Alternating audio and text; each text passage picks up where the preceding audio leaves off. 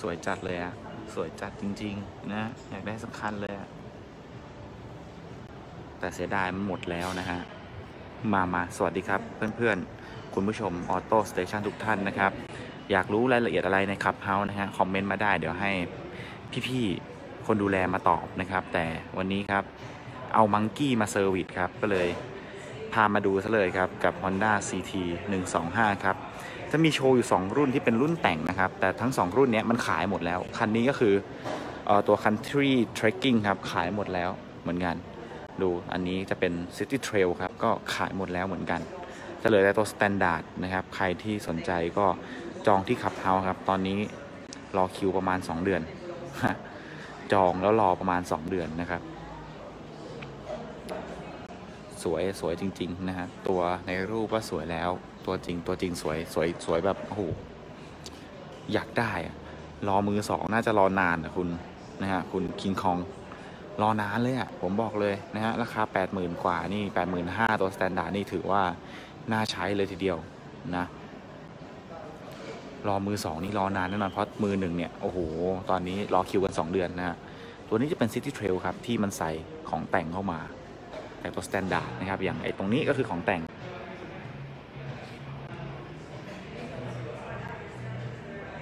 นี่ครับ ให้เป็นดิสเบรกหน้าพร้อม ABS ด้านหน้ามาด้วยนะครับ caliper Nissin ยางเป็นของ IRC ครับ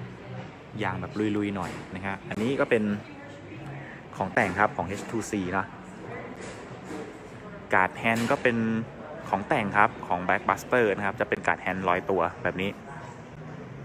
เออ ใส่ Monkey ได้ป่าวะ อยากได้เลยอะนะ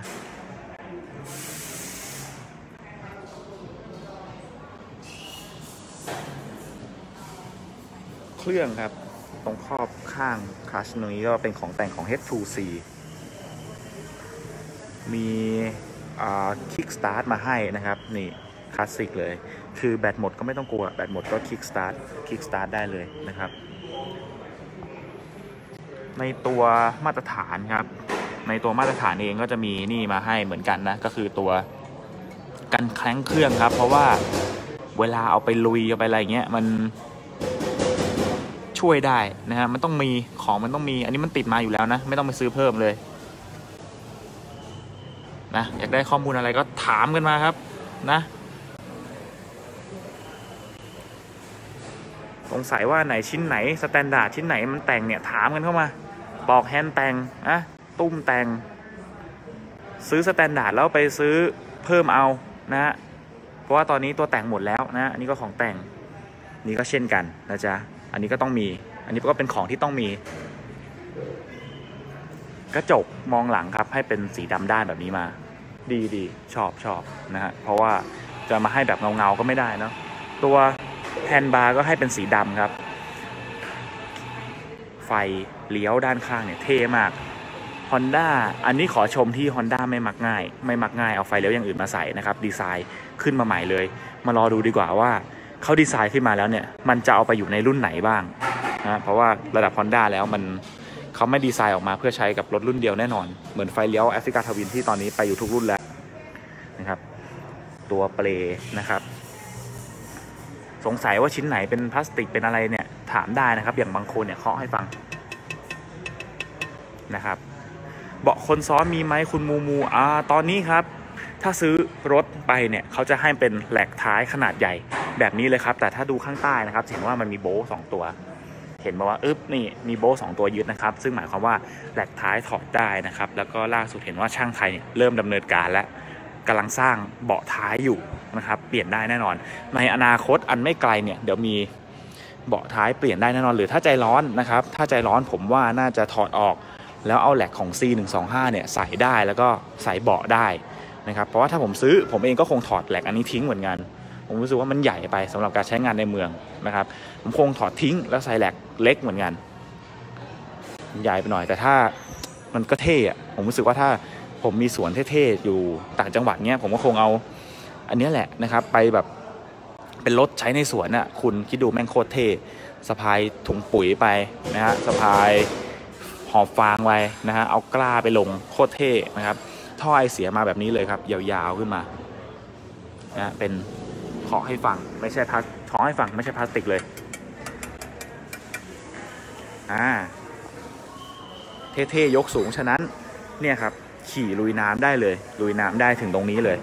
ลุยได้สบาย บางโคนหลังเหล็กไหมได้ผมเคาะให้ดู คุณวิจิตครับชัดเจนนะครับ ผมเป็นพลาสติกขึ้นรูปนะครับ บางคนหลัง แต่ว่าบางคนหลังมีกันดีดมาให้นะครับ กันดีดตรงนี้ กันดีดกันชนต่างๆ นะ มันเข้ามากับตรง บางคนหลังเนี่ยคุณ มันเป็นพลาสติกหมดเลยคุณดู ข้างนอกพลาสติกนะ ข้างในพลาสติก พลาสติกหมดเลยนะครับ ตัวชิ้นครอบเฟรมตรงนี้เองก็เป็นพลาสติกนะฮะ ใช่ใช่เป็นผมก็ใส่ตะแกรงหลังจิ๋วเหมือนกันครับ คุณแม็กครับอ่าตัวบังเท้าตรงนี้ครับ เป็นโลหะนะ เป็นโลหะ อันนี้ของแต่งครับของแต่ง เฟรมเขาดีไซน์สวยจริงๆ สวยจริงครับ คุณผู้ชม ไฟท้ายเองก็ใหม่เด้อนะฮะ อย่างที่บอกไปว่าหูฮอนด้าค่อนข้างจริงจังใส่ใจกับรถคันนี้มากเลยนะ คือเขาดีไซน์คุณดูดิ เบ้าไฟท้ายอะมันคือเนี่ย redesign ใหม่ทั้งหมดไม่ได้เอารุ่นไหนมานะครับ สมกับเป็นรถที่วางเป็นแบบพรีเมียมอะเหมือนตอน Monkey ออกมาตอน 4 ออกมา มันก็ redesign เบ้าพวกนี้ใหม่ทั้งหมดนะครับ สวยสวยเลยแล้วก็เนี่ยไม่เหมือนใครไม่เหมือนรถรุ่นไหน ไม่เคยใช้กับรถรุ่นไหนมาก่อนนะครับ อันนี้เป็นของแต่งนะครับ เป็นกล่องเก็บเครื่องมือนะครับ ซ่อมฉุกเฉินอย่างพวกตะแกรงนะครับ ไขควงต่างๆเนาะใช้งานง่ายแล้วอันนี้ก็รู้สึกว่าเป็นของต้องมีเหมือนกัน คือซื้อ standard ก็ต้องมีอันนี้นะครับสวยมากงานประกอบดีจริงคุณสิทธิชัยใช่ครับ งานประกอบดีเยี่ยมมาก โช้คมันเป็นโช้คคู่แบบนี้นะครับ อันนี้ตัว City Trail จะได้โช้คเดิมนะครับ ไม่ได้เป็นของแต่งนะยางเป็นยางซีเป็นล้อซี่ลวดยางในนะบังโซ่ H2C ของแต่งนะครับ อันนี้เป็นของแต่ง มันไม่มีตัว standard จอดโชว์นะครับ ต้องขออภัย ท่อจะนาบน่องไหม อันนี้บอกเลยว่าจากตำแหน่งขี่เนี่ยยังไงก็ไม่นาบ เพราะว่าคนขี่นั่งตรงนี้ใช่ไหมครับ นั่งตรงนี้แล้วพอขามาเงี้ยยังไงก็ไม่โดนนะครับ แล้วก็รถเล็กพวกนี้มันไม่ร้อนมากนะฮะมันไม่ร้อนมาก แต่ถ้าคุณเคยโดนมอเตอร์ไซค์ก็จะรู้ว่าอ่าติดยศได้นะฮะขาสก๊อยต้องมานะฮะตรงนี้ครับคือ snorkel นะครับ ถ้าคุณอ่าเรียกว่าอะไรขับ four wheel น่าจะคุ้นเคยใช่ไหมฮะว่าท่อ snorkel คือท่อรับ ไอดี ฉะนั้นเนี่ยครับถ้าขับในกรุงเทพเห็นน่าจะมีรูปในโซเชียลแล้วหลายคนน่าจะเห็นแล้วคือ คนไปดูน้ำท่วมที่เมืองทองที่สามัคคีกันมา น้ำท่วมระดับเนี้ยน้ำท่วมระดับเนี้ยครึ่งคันอะขี่ได้นะครับทำไมถึงขี่ได้ เพราะว่านี่ครับ ท่อหายใจเขาอยู่สูงขนาดนี้เลย นั่นหมายความว่าอะไร นั่นหมายความว่า คุณนั่งจนตูดเปียกแล้วอะคุณนั่งจนตูดเปียก คุณก็ยังลุยน้ำได้สบายสบายนะครับ แต่ก็ต้องอย่าผ่อนคันเร่งนะ เพราะว่าน้ำมันก็อาจจะไหลย้อนจากท่อเข้าไปได้นะครับ ราคาสดเท่าไหร่คุณแพรไหม ถ้าตัว standard จะอยู่ที่ 8 4 9นะครับ849สำหรับตัว standard แต่ที่เราพามาดูมันมีตัวตัวแต่งนะครับ ตอนนี้ที่ Cub House มีแต่ตัวแต่งนะครับมุมลองขี่หรือยัง feeling เป็นไงบ้างยังไม่มีโอกาสได้ลองขี่นะครับ แต่จากพี่ๆสื่อมวลชนเจ้าอื่นขี่กันก็บอกว่าสสนุกดีครับ แล้วก็สเตอร์หลังเนี่ยให้มาใหญ่ฉะนั้น การขี่ในเมืองเนี่ยน่าจะ สนุกแน่นอนนะครับ ต้นต้นดีนะครับ ต้นดีแน่นอนว่าต้นดีกว่าซีแน่นอน เอ้ยนี่อันนี้ก็เป็นของเดิมหมดนะครับ พักเท้ามีให้ทั้งพักเท้ากลาง พักเท้าside stand นะครับ เอ้ยไม่ต้องรอยืมครับพี่ซื้อเองเลย ผมยังอยากได้เลยเนี่ยนะครับ หัวฉีดต่างๆ เป็น Keihin นะครับ Keihin ให้ใช้ของดีอะนะครับ drain ออกตรงนี้ ไอดี ตรงนี้เป็น snorkel นะฮะ ขาตั้งคู่ขาตั้ง side stand นะครับ อันนี้ก็มีบังมาให้เป็นยางนะครับ อันนี้เป็นยาง แต่ว่าตัวบางคนเป็นโลหะนะครับ เท่เท่มาก ด้านหลังก็เป็นดิสเบรกนะครับ ด้านหลังก็เป็นดิสเบรกเหมือนกัน ไม่ใช่แค่ดิสเบรกด้านหน้านะครับ โชว์ครับจะมียางหุ้มมาให้กันฝุ่นนะครับ เป็นยางพลาสติกที่แบบ จอดตากแดดมีกรอบแตกแน่นอนอันนะโลโก้ครับ Honda Classic Wing นะฮะ Classic Wing แหมเท่จริงๆครับก็ปอกคงปอกแห้งต่างๆ อันนี้คือตัว City Trail ครับ City Trail เนี่ยเขาเป็นตัวแต่ง Inspiration ที่สร้างมาเพื่อ เน้นการใช้งานในเมืองเป็นหลักนะครับ มันก็จะเท่แบบเออร์แบนนะครับ แต่มันจะมีอีกรุ่นหนึ่งครับ ก็คือตัวออ country trekking ครับ country trekking เนี่ย ก็จะเป็น แนวที่แต่งลุยขึ้นนะครับ อันนี้จะเหมือนอินสปายมาจากว่า เออ เป็นแบบขี่ไปตกปลาอะไรแบบนี้ครับ ซึ่งซึ่งพวกนี้มันเป็น culture ที่นิยมมากในประเทศญี่ปุ่นนะครับ แล้วก็เอามาสู่คนไทยนะครับ บอกเลยว่าเท่จริงนะคุณสามารถขี่ลุยเข้าไปยังหมายที่อยู่ในป่าได้เองเลยคือ อาจจะชิปนะครับขึ้นรถกระบะไป ชิปขึ้นรถกระบะไป แล้วก็เอาลงจากรถกระบะรถเล็กแบบนี้สบายอยู่แล้วนะครับ ผมแล้วก็ เอาเบ็ดนะครับขึ้นรถไปได้เลย แล้วก็ไปที่หมายที่อยู่ในอาจจะเป็นเดินเข้าไปไกลนิดนึงหรือลำบากหรือเป็นทางที่ทางเดินในป่าเงี้ยคันนี้ก็จะขี่เข้าไปได้เลยนะครับรถมันจะมี 2 สีนะครับก็คือสีแดงแดงสดคันนู้นนะครับแล้วนี่จะเป็นสีเอ่อเรียกว่าอะไรเดียสีเหมือนทรายนะครับจะบอกว่าเทาก็ไม่เทานะครับน้ำตาลก็ไม่น้ำตาลเขียวก็ไม่เขียวนะเป็นสีเหมือนทรายนะครับนี่อันนี้ก็จะเป็น หนึ่งในส่วนของที่เป็นชุดแต่งมาให้นะฮะ อันนี้ตะแกรงหลังก็จะเป็นสีดำเงา นะ เป็นสีดำเงา ตัวที่เป็น Country Trekking ครับ จะได้โชคแต่งของ Racing Ball นะครับ โชคด้านหลังนะฮะ ก็จะมีระยะยุคสูงเลย อย่างที่คุณเห็นนะครับ ก็จะปรับได้ด้วยนะ ปรับค่าต่างๆได้ด้วยนะครับ มีเขี้ยวมีอะไรต่างๆอยู่ นะฮะสวยงาม ปั๊มเบรกอย่างที่บอกไปครับนี่ชินหน้าหลังเป็นดิสเบรกนะครับ แต่ ABS มีแค่ด้านหน้านะครับอะอันนี้ก็เหมือนกันก็คือเป็นบังโซ่ H2C นะครับแก f ฟูต้องมาจริงแก f ฟูต้องมา ผมว่ามันเหมาะกับแก f ฟูมากเพราะอะไรคุณดู ผมขออนุญาตเอาของแต่งออกฟึบถาดหลังใหญ่มากครับ ถาดหลังคุณติดกล่องแก f ฟูได้ประมาณ 2 กล่องนะฮะหรือคุณจะเปลี่ยนมาใช้นี่เลย มันแถมมากับรถอยู่แล้ว Stream Trail นะฮะตัวเต็ดตอนนี้หมดแล้วนะครับ มันมีอย่างละร้อยแล้วก็ 50 คัน ตอนนี้หมดเกลี้ยงหมดแล้วทั่วประเทศนะ ไม่ต้องไปหานะ คือตามโชว์รูมไม่มีแล้วอะ่ะเว้นแต่ว่าคุณจะไปซื้อใบจองนะครับเสียดายจริงไม่งั้นเอาสักคันเหมือนกันนี่ครับ ตัวคันที่เทรคกิ้งก็มีนี่ให้เหมือนกันนะครับ กล่องอะไหล่นะครับ ชิ้นนี้จะเป็นชิ้นที่เป็นใส่อุปกรณ์ตกปลานะครับ คุณจะไปอัดแอปใส่อื่นก็ได้แต่อย่างที่เห็นครับเขาเป็นอินสปิเรชันที่มาแบบนี้ วางด้ามตกปลามานะครับ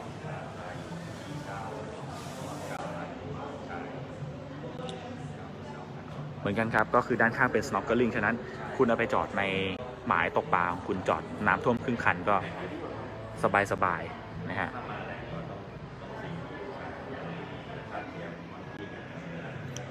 อะไป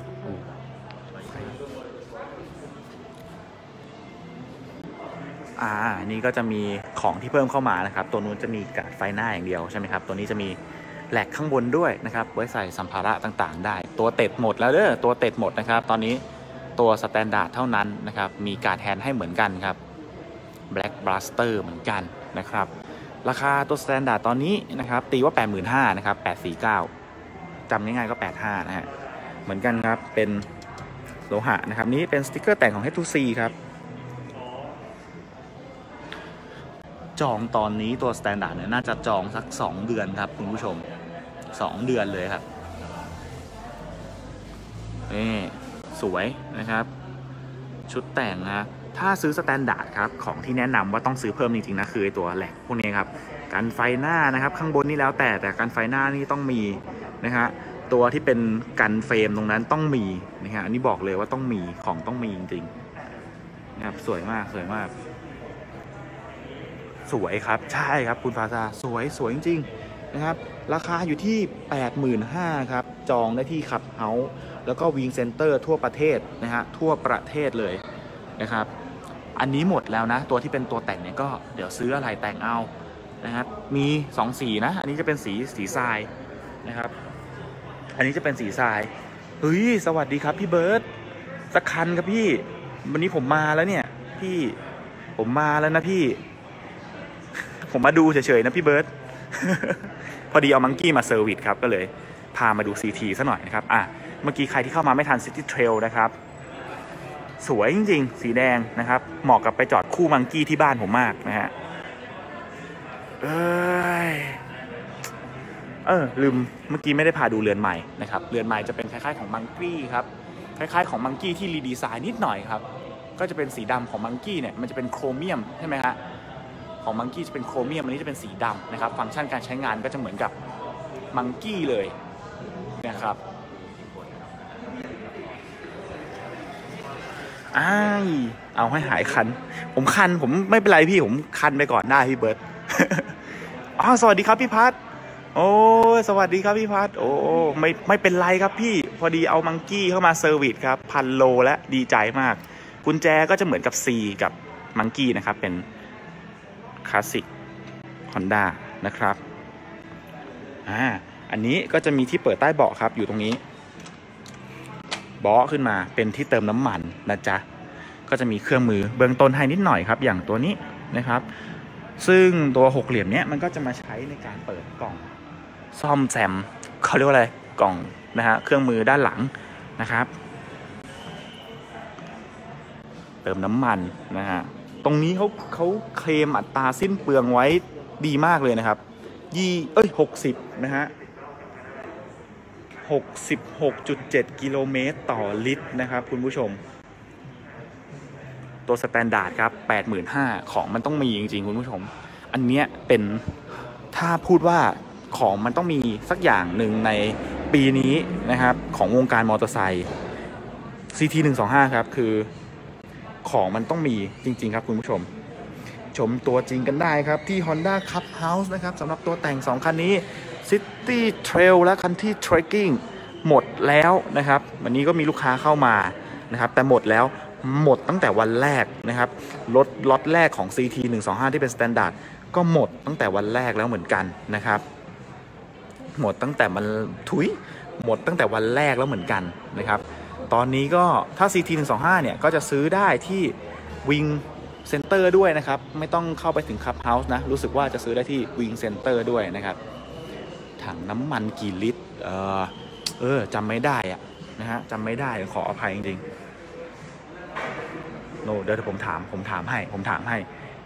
ถ้า FC อยากรู้ต้องได้รู้ครับ อยากรู้ต้องได้รู้จริงนี่ไฟท้ายสวนจริงนี่ผมใช้ลูกน้องผมแม็กกี้ ถังน้ำมันกี่ลิตรอะถามพี่เขาให้หน่อยดิถังน้ำมันกี่ลิตรน่ะเฮ้ยสวัสดีครับพี่แบงค์สวัสดีครับคันนี้ต้องมีนะครับ หัวหน้าเกียงต้องมีนะครับ หัวหน้าเกียงศักแห่ง Autostation ต้องมี สวยจริง ๆ สีแดงคุณดู อันเนี้ยขึ้นกล้องมากๆนะครับ ส่วนสีที่เป็นสีทรายเองก็สวยมากๆนะครับ แต่นอกจาก CT นะครับ ที่ CUB House ก็ยังมีนี่ครับ เจ้าจิ๋วอย่าง Monkey นะฮะซึ่งวันนี้ผมพา Monkey มา service แหละ แต่ว่าเข้ามาแล้วก็พามาชม CT ด้วยนะครับ ช่วงนี้มีที่เป็นของแต่ง season ใหม่ๆ ซีรีส์ใหม่ๆ จาก Bikers จากอะไรต่างๆ เนี่ยเข้ามาเยอะมากอะคุณบันนะครับสุวรรณแสนถังน้ำมัน 5.4 ลิตรนะฮะขอบคุณมากเลยนะครับผมเพราะว่าจำไม่ได้จริงๆ ต้องขออภัยนะครับในรายละเอียดจำไม่ได้จริง 5.4 ลิตรนะครับกิโล ลิตรหนึ่ง60โล ตีว่าใช้แบบใช้ล้างใช้ผ่านก็อาจจะได้สัก50นะฮะนั่นหมายความว่าวิ่งได้ 250ถึง300 กิโลเมตรต่อ1ถังนะครับ1ถังน่าจะวิ่งได้ 250ถึง300 กว่ากิโลเมตร เลยทีเดียวครับ อยู่ที่ว่าคุณขับขี่แบบไหนนะครับหูสีทรายนี่มันสวยจริงๆนะฮะแถมมังกี้ให้ดูข้างหลังไปด้วยนะฮะ มังกี้นี่ก็สวยนะครับ มังกี้นี่ก็สวยนะครับ แต่งสนุกมากนะครับ วันนี้มาแล้วก็เกือบได้ของแต่งเหมือนกัน แต่โชคดีใจเย็นนะ เป็นคนใจเย็นก็เลย ไม่ได้ของแต่งกลับบ้านในวันนี้ไปนะครับ เอามา maintenance เฉยๆนะครับ อะ ใครอยากรู้ข้อมูลอะไรของ CT ตารางผ่อนดาวน์โปรโมชั่นอะไรต่างๆเนี่ย โปรโมชั่นเขาดาวน์ เอ้ย ถุยดิ โปรโมชั่นเนี่ยมันผ่อนดาวน์ดอกแค่ 0.59เองนะนะครับสำหรับดาวน์ 20,000นะ ดาวน์ 20,000 ดอก 0.59 นะครับ ดอกสูงสุดรู้สึกจะ 0.99 นะครับ บางที่เนี่ยบาง Wing Center เนี่ยเขามีดาวน์ 0%แล้วนะ แต่ว่าตอนนี้รอรถนานอาจจะมี 2-3 เดือนนะครับ ตัว standard นะ ส่วนตัวเต็ดไม่ต้องพูดถึงครับ มันหมดไปแล้ว มันจบไปแล้วคุณนะฮะหาซื้อใบจองเอาแล้วกัน แต่อย่างที่บอกครับซื้อตัว standard ไปแต่งเพิ่มเอาครับ ของที่ต้องมีครับ กันไฟหน้า กัน frame นะฮะ ตัวแบ็กบาสเตอร์ของต้องมีนะครับ สวัสดีครับหัวหน้าเกียงครับ สักคันครับผมเร็ว พี่ซื้อผมซื้อมา พี่ซื้อผมซื้อเหมือนเดิมนะฮะสี่คันเหมือนเดิมนะฮะมังกี้ยังผ่อนไม่ถึงครึ่งปีเลยนะครับ หัวหน้าเกียงมาขนาดนี้แล้วต้องเอาสักคันนะฮะสี่คันเหมือนเดิมไหมพี่นะฮะไม่น้ำลายแบบซื้อจริงอะไม่น้ำลายมาแบบมานั่งเสียเวลาที่ขับเฮาแล้วไม่ซื้ออะไรอย่างนี้นะครับผม ข้างๆนี้มันก็เป็นโลหะนะครับ ตัวที่เป็นหูไฟหน้าเนี่ยครับ จริง ๆ ไฟหน้าเนี่ยก็คือไฟหน้า Monkey แหละนะครับไฟหน้า Monkey ที่โคมมันเป็นโคมดำเงานะครับ แทนที่จะเป็นโคมของโครเมียมนะครับอ่าสวัสดีครับบอส เนี่ยคุณนะโค้งนะ ผมรู้นะว่าคุณลืมสลับแอดเคาท์นะครับโคกี้พีนะฮะ สวยอะ่ะคุณสวยน่าใช้มากจริงๆนะครับ นี่แล้วมันเป็นรถรถที่ไม่ได้สักแต่ว่าใช้งานในชีวิตประจำวันได้นี่ครับผมเป็นเป็นรถไลฟ์สไตล์ดูครับผมครอบครัวพากันมาดูนะครับ ว่าความสวยงามของมันนะครับ จะเข้าบ้านสักคันนะครับ เพราะมันเหมาะจริง ๆ มันเหมาะเนี่ยเด็กยังอยากได้เลยคุณผู้ชมนะทำไมคุณผู้ชมถึงไม่อยากได้ ผมยังอยากได้เลยนะฮะโชคดีไปไม่มีตังค์นะครับ สวยมากสวยมากนะครับ อันนี้เบ็ดไม่ได้แถมนะครับ เบ็ดไม่แถม เบ็ดไม่แถม แต่กระเป๋าหลังไปกับชุดตัวที่เป็นคันที่เทรคกิ้งครับ แต่เบ็ดไปซื้อเอานะครับ ที่อยากได้นะครับ ไม่แถมนะครับไม่แถมไม่แถม แบตเตอรี่ครับแบตเตอรี่จะเก็บอยู่ใต้ตรงนี้นะครับ เปิดออกง่าย ๆนะครับ ก็จะเป็นแบตเตอรี่ maintenance service ง่ายมากครับ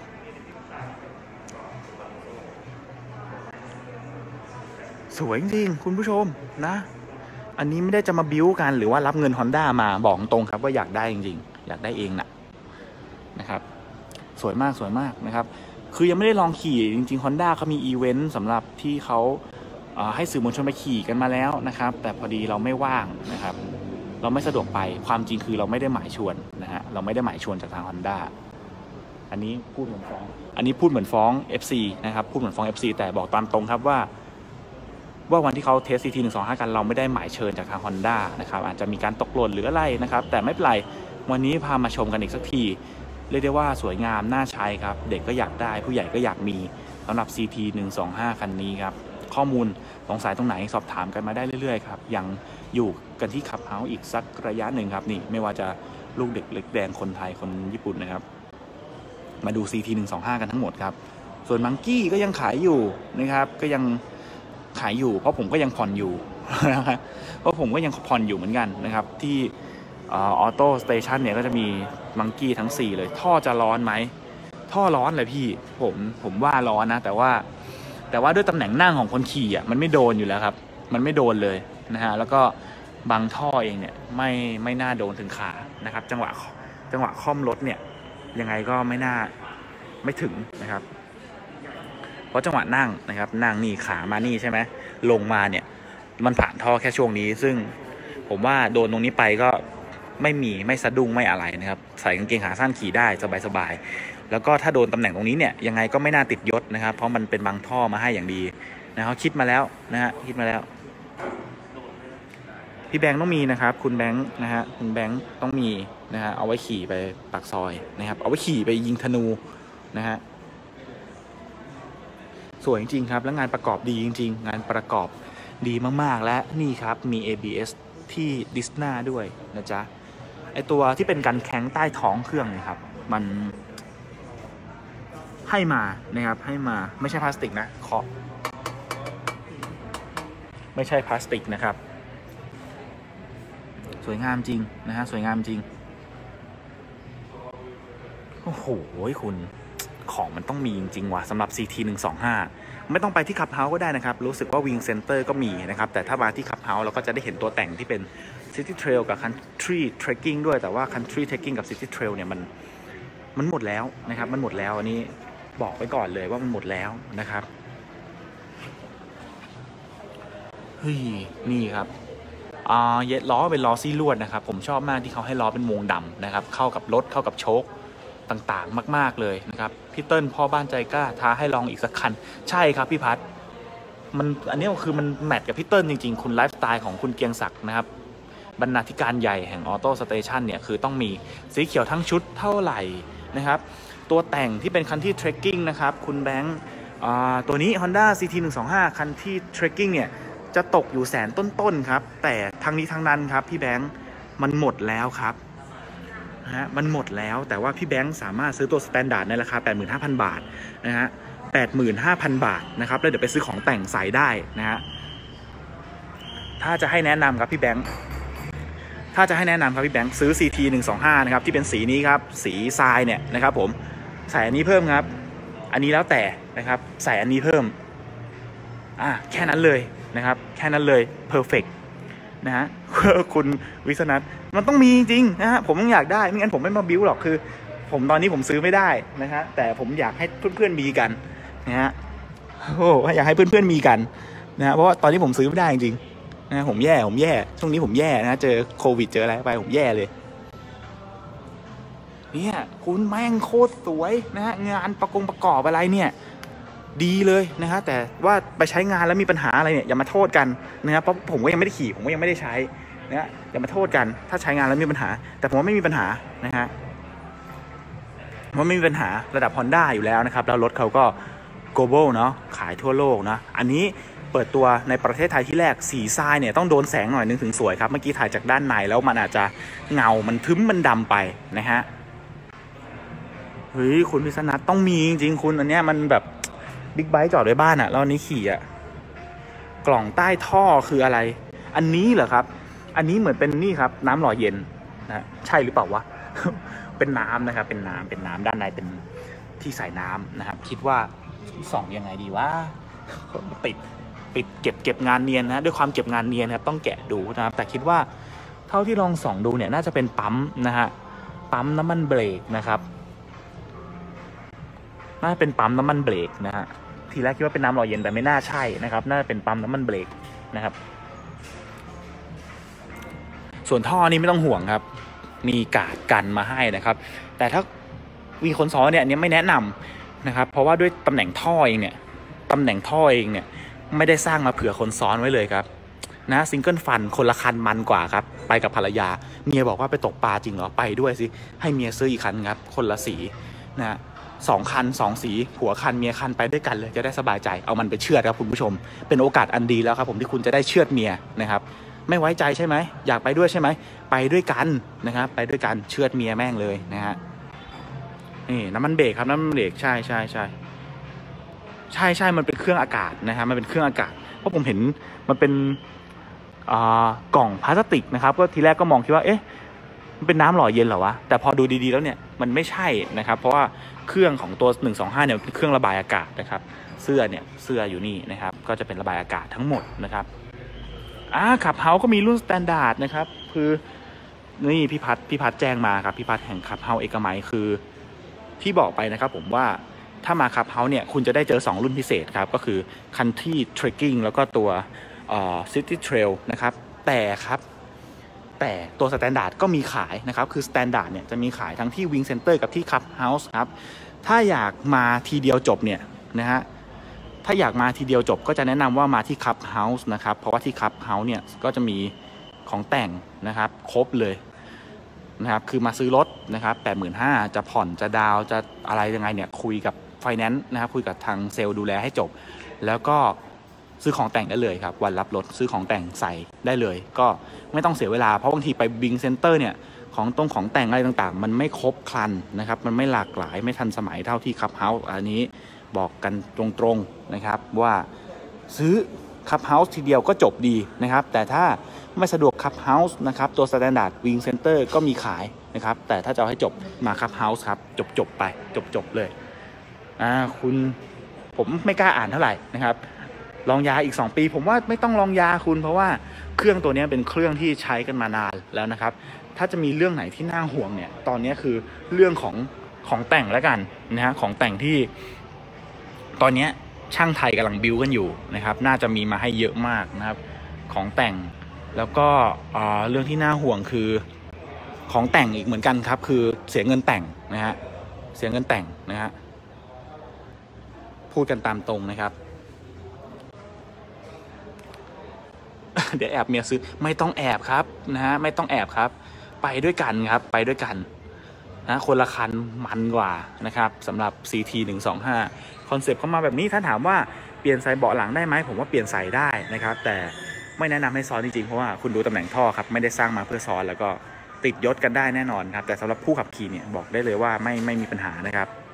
ไม่มีปัญหาอย่างแน่นอนครับ ไฟท้ายสวยมากนะก็พลาสติกธรรมดาเนี่ยแต่ถือว่าให้ดีไซน์มาทั้งคลาสสิกแล้วก็ทันสมัยนะครับ มันเป็น LED นะ เป็น LED อะ CT 1 2 5ครับ ประมาณนี้นะครับคิวจองเยอะไหมคุณประจักษ์ ตอนนี้เท่าที่ถามมานะครับ เมื่อสักครู่ถามกับพี่เซล